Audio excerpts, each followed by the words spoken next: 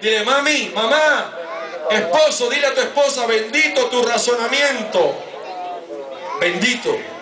Porque cuando estás bendiciendo, ¿cuánto dice gloria a Dios? Le estás abriendo las puertas para que haya razones mejor todavía. ¿Estás entendiendo esto? ¿Cuántos están entendiendo esto? Y esa fue la alabanza del rey. Bendito tu razonamiento y bendita tú que me has estorbado hoy de ir a derramar sangre y vengarme por mi propia mano. Porque vive Jehová, Dios de Israel, que me ha defendido de hacerte mal, que si no hubiera dado, no te hubieras dado prisa para venir a mi encuentro, de aquí a mañana no le hubiera quedado con vida Naval ni un varón. Las cosas hay que hacerlas como no, que el tiempo. No, que vamos a esperar porque no, no, no, no. Tampoco se apresura los planes de Dios. Pero en el momento preciso de actuar, no se esconda. Levántese con sabiduría. Tome cartas en el asunto porque de allí depende la salud de los suyos. La vida de los suyos. Y esto fue lo que tuvo en cuenta esta mujer. Dijo, de allí depende mi gente. Yo prefiero que el pecado caiga sobre mí, pero no de mi gente. Gloria al Señor. Está en tu casa y mira que he oído tu voz y te he tenido respeto. Pero hay algo muy importante que se me quedó aquí detrás. Como una mujer sabia. Recibió David de su mano lo que había traído y le dijo, sube en paz a tu casa y mira que he oído tu voz y te he tenido respeto. Pero hay algo muy importante que se me quedó aquí detrás como una mujer sabia, ella sabía que el mal estaba destinado para David. Y mire qué sabiduría. ¿Quieren escucharlo? Porque entonces, Señor mío, tendrás motivo de pena ni de, remordimiento por haber derramado sangre inocente o por haberte vengado de ti mismo. Guárdese pues, mi Señor, y cuando Jehová haga bien a mi Señor, acuérdate de tu siervo. No te olvides de mí. En algún momento te vas a acordar de mí. En algún momento el rey se va a acordar del favor que tú le has hecho. Él se fue ahora, él recibió y se fue. Parece que no había pasado nada, simplemente todo se quedó igual.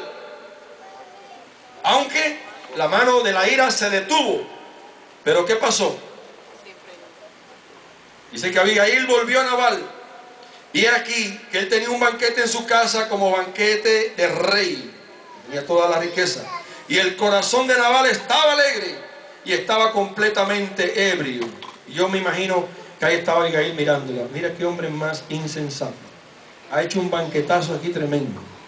Se ha burlado del que va a ser rey sobre Israel. Del que tiene la gracia. Del que Dios ha protegido. Está ebrio. ¿Qué hizo ella? Aprovechó en ese momento y le habló porque era el momento. No, anteriormente era el momento de actuar con el rey, pero ella fue sabia. Y dijo, ahora está ebrio, ahora está borracho, puedo decir las cosas. Amén. ¿Hay sabiduría en esto? No hay sabiduría. Hay un momento para decir las cosas. Si está enfuscado el padre, el esposo, el hijo, no es el momento quizás, el momento de actuar porque las palabras no van a salir igual. Deja que las cosas se calmen, se apacigüen, que Dios te dé sabiduría, aunque haya necesidad de una comunicación urgente, espera el siguiente día. ¿Qué hizo ella? Por lo cual ella no le declaró cosa alguna hasta el día siguiente, pero por la mañana, cuando ya Naval se había, se le habían pasado los efectos del vino, le refirió su mujer estas cosas. Ella le dijo todo lo que había ocurrido. Dios, ¿tú sabes dónde estaba ayer? ¿Cuánto dicen? ¿Tú sabes? ¿No te diste cuenta que ayer me ausenté por el día, por la tarde? ¿Sí? ¿Tú sabes dónde estaba? En el Dolphin Mall comprando la compré. ¿Cuánto gastaste? ¿Dónde estabas ayer? Ayer yo fui a ver al rey David. A David. ¿Cómo? Ahí es insensato. No, insensato nada. ¿Tú sabes dónde me lo encontré? Cogí por el camino secreto y estaba aquí a dos cuadras ya de mí prácticamente. Venía a arrasar con todo esto. Por esto, por esto, por esto, por esto, porque tú no has tenido en cuenta esto. Le declaró todas las cosas sabiamente. ¿Qué hubiera hecho este hombre tan sensato y tan insensato y tan perverso y tan prepotente, tan egoísta, tan etcétera, etcétera? Quizás se hubiera levantado, ¿cómo lo hiciste? Pero como Jehová estaba con él, dice que en ese momento, escuche esto, escuche bien esto, cuando ella le declaró, en la mañana siguiente, pasados los efectos del vino, le declaró todas estas cosas, desmayó su corazón en él y quedó como una piedra. Según los comentaristas exegéticos dicen que quizás le dio como una parálisis cerebral en ese momento.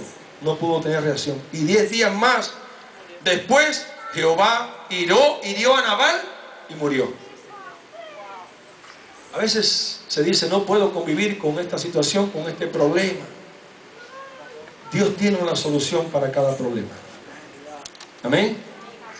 Y yo sé que hay muchas mujeres aquí que quizás pasan trabajo con sus esposos. Y no quiero que usted salga orando, Señor, hazle como a Nabal. Yo pienso que usted quizás, así Señor, ten misericordia.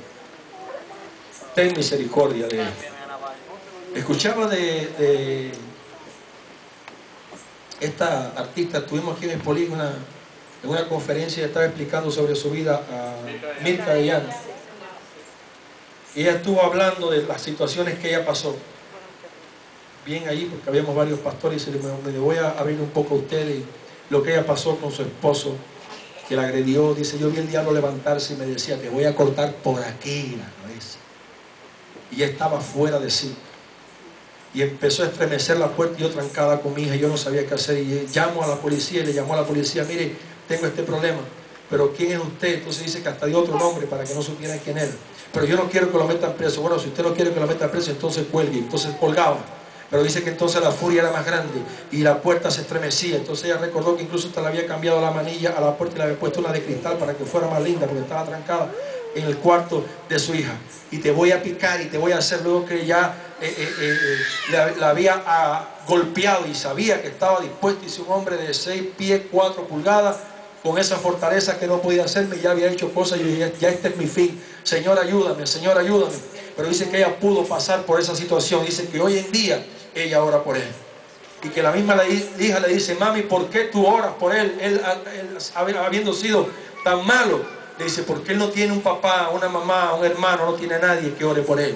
Y yo quiero, yo siento en mi corazón que ore por él. Y mi anhelo para con Dios es que Dios lo transforme, no para volver con él, porque digo, Señor, por favor, yo no quiero jamás volver con él, a no ser que tú lo pongas. Pero yo quiero orar por él para que Dios lo perdone. Y yo admiraba esta actitud y realmente tenemos que reconocer, hermano, que hay un Dios que tiene el control de todas las cosas. No sé por la situación que tú estés pasando, Dios siempre no obra de la misma manera. Amén. Pero lo que Dios tenga que hacer, Dios lo hace. Y Dios te restituye después. Gloria al Señor. Amén. No sabemos cómo era David, digo cómo era Naval, pero ahora mira lo que sucedió. Dice que diez días después hirió Nabal y murió David. Luego que David oyó que Nabal había muerto, dijo, bendita sea Jehová que juzgó la causa de mi afrenta recibiendo de, mano, recibida de mano de Nabal y ha preservado del mal a su siervo. Y Jehová ha vuelto la maldad de Nabal sobre su propia cabeza. Después envió David a hablar con Abigail para tomarla por su mujer. Qué alegría, ¿verdad? Qué gozo. Nos dice que ella le guardó luto, ella fue sincera, ella sabía que era un hombre perverso, ella se sometía a él, pero estuvo allí todo ese tiempo. Y luego entonces, David llama inmediatamente, dice, esta mujer eh, eh, prudente, esta mujer hermosa, esta mujer de buen carácter, esta mujer inteligente, yo no voy a perder la oportunidad de tenerla al lado mío la mandó a llamar. ¿Y qué le dijo ella? No, siervo, mire que yo ahora estoy en un tiempo de, ¿cómo se? De luto y que ella fue rápidamente para donde estaba David.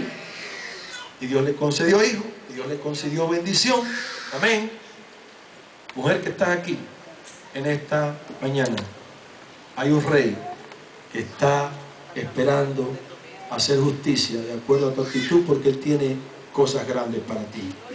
Amén. De la posición donde tú estás, Él te va a llamar para que comas en su mesa.